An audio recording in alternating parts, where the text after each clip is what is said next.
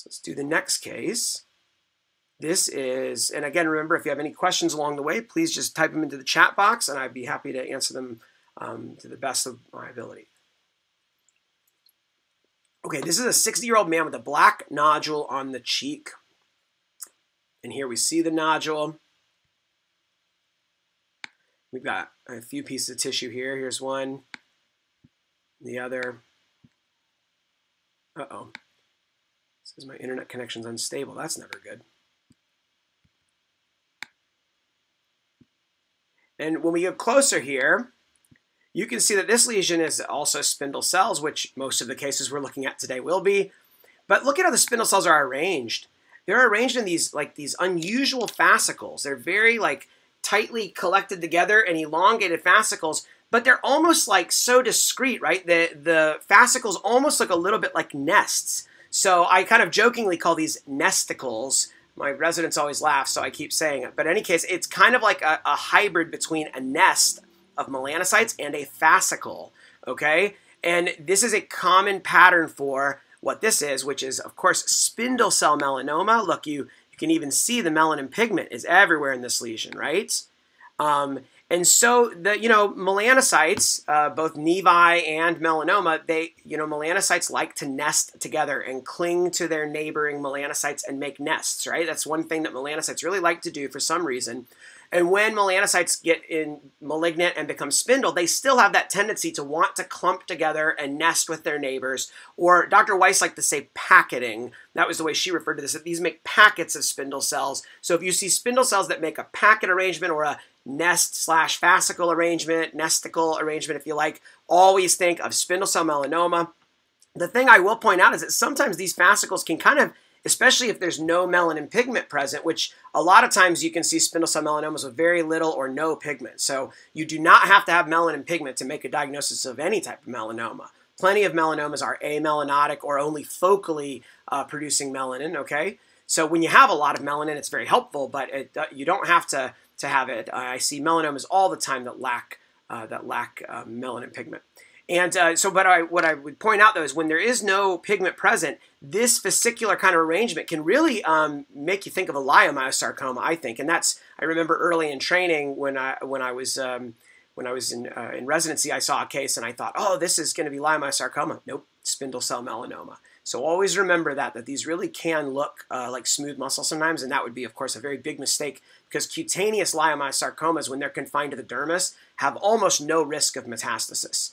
Um, and uh, spindle cell melanoma, very bad, obviously. I mean, they, they don't behave, to my knowledge, spindle cell melanomas don't behave any differently than other types of like regular melanoma, like the epithelioid types that we're most familiar with, on a same depth basis. So very different from desmoplastic melanoma, um, so here, the thing is, is that when I see spindle cell melanomas, the majority of them are going to be big, huge, deep, kind of nodular uh, pattern of melanoma composed of spindle cells, and usually they have brisk mitotic activity, all the bad features. So whether or not there's spindle cells there doesn't really matter at that point. We already have a T4 and it's ulcerated. So it's a T4B melanoma, as bad a primary melanoma as you can get, basically, right here. And I'd say that majority of spindle cell melanomas I see are this way, okay? So remember that they can mimic leiomyosarcoma. Remember that they may have pigment or they may not.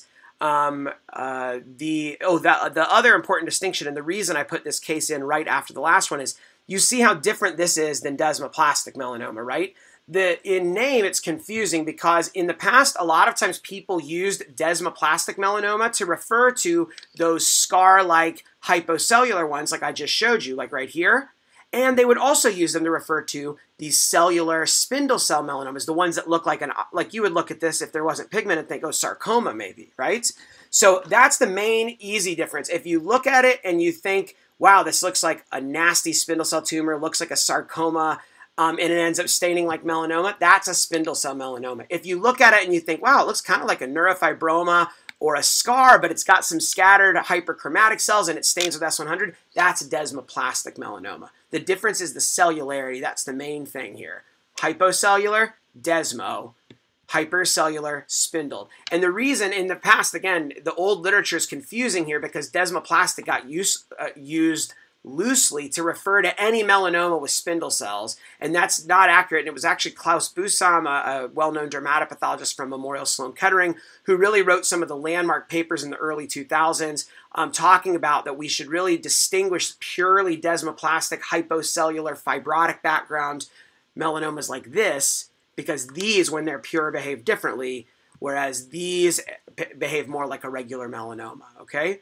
Uh, let's see. What are the other things? Oh, the this case actually did have melanoma in situ component. Sometimes you will, sometimes you won't.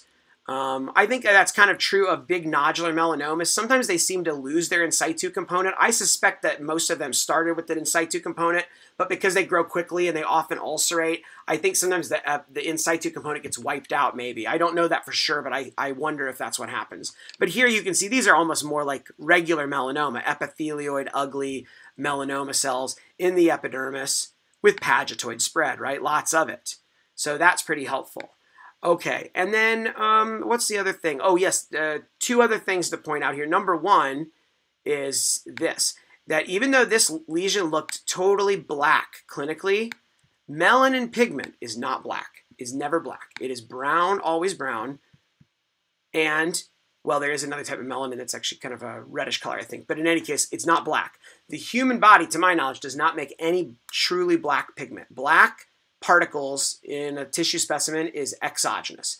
It is either metal particles from, from something, it's tattoo ink, it's carbon that we've breathed from the air, or that got it got in, you know, we put into us with a pencil stab injury and it's graphite, or something else, or people drinking colloidal silver and it deposits in the tissue, argyria, any of those things. Those are things that make little black particles you do not see black. Um, uh, and the reason I point this out is I was giving a lecture once at a physician, I'm sorry, a pathologist assistant meeting, and I said, oh, you can use black ink for the deep margin on a melanoma excision, and uh, there was like this gasp in the audience, and I was like, what, like, what's the problem? And they said, oh, but it's black. I mean, it's for melanoma. Isn't it going to make the margins confusing? And I was like, oh, no, no, because actually melanin's never black. It's brown. So in any case, just to make sure that everyone's fully aware of that, uh, to remember, okay? And then the last feature is this that these spindled cellular melanomas, they, they will stain with S100 and SOX10, and they do um, stain with MART1 or HMB45. Uh, I, I like MART1 a lot better than HMB45 uh, for the differentiated type of melanocytic marker. Um, it just seems to be more crisp and a little more sensitive uh, in my hands. But, but sometimes these spindled ones lose either partially or completely lose expression. So I've seen plenty of these where there's strong diffuse S100 or SOX10, but negative for MART1 and HMB45, and maybe there's no in situ component. And then people would always send these to me in consult and say, I think this is a malignant peripheral nerve sheath tumor on the scalp, in the skin of an 80 year old man. And I was like, no way, no, no way, not possible. MPNST almost never occurs in the skin.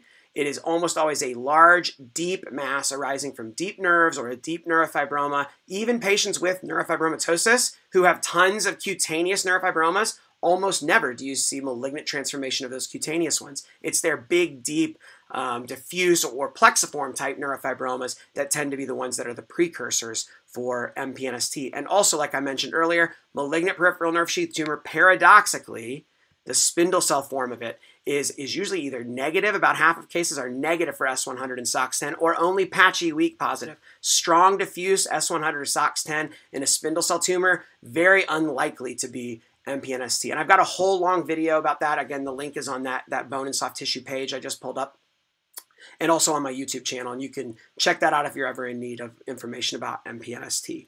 But in any case, it is not worrisome at all if I see a malignant spindle cell tumor in the skin with strong diffuse S100 or SOX10 staining. That is spindle cell melanoma. A top 10 or 20 things on the differential is basically, to me, that is spindle cell uh, melanoma unless you can somehow prove to me it's something else. So um, even if there's no MART1, okay? And I have seen many, many, many cases of spindle cell melanoma that uh, didn't have pigment or in situ and were only S100 or SOX10 positive, and I have no problem at all calling those spindle cell melanoma. Okay? So that's an example of a, of a cellular spindle cell melanoma.